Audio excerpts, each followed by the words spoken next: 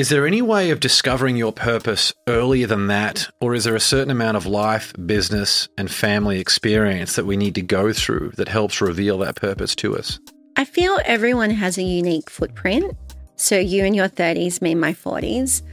I think that life gives us so many lessons, and it's the lessons that keep coming back and hitting us like head on, right? Those lessons that are meant for us, but we can't quite get over the speed hump or we're trying to maneuver around it, but really we just want to walk over it with mm-hmm. ease. I think if you have life lessons like that, it means that the universe is saying to you, I'm here to show you the way. I'm here for you to understand what your power and purpose is and start listening. And it can happen in your 20s, it can happen in your 30s, 40s, 50s, 60s, 70s.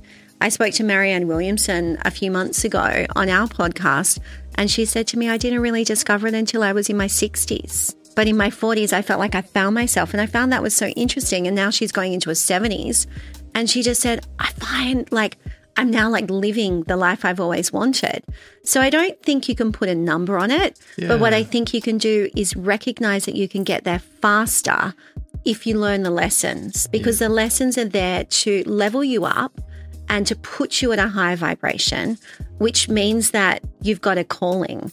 And when you've got a calling in life, it's there for you to answer. Mm. There's moments of rebirth and ownership that we go through. I've spoken on the show before how at the age of 23, that was basically the first time in my life that I stopped being a victim and I planted a flag to life and said, you know what, come and get me.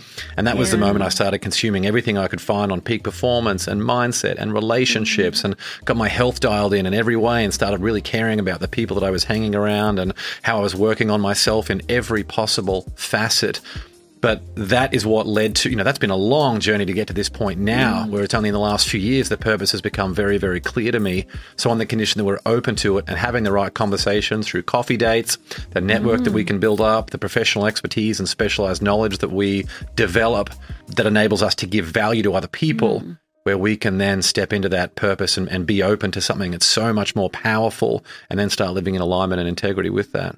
And a lot of people ask about how do you find flow? Mm. And I feel I want to deep dive on this a little bit more because what you're saying is you're soaking up all of this information.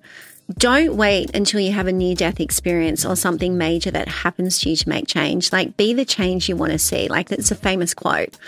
The more you take the smaller steps forward, the bigger the momentum. You don't have to take a big step forward to find your purpose all you need to do is each day make a promise to yourself to shift that energy forward. And what you will find is that you will come into alignment a lot quicker when you understand that the doors that are not meant for you are meant for someone else to experience. And the doors that you easily walk through are the experiences that you're meant to have.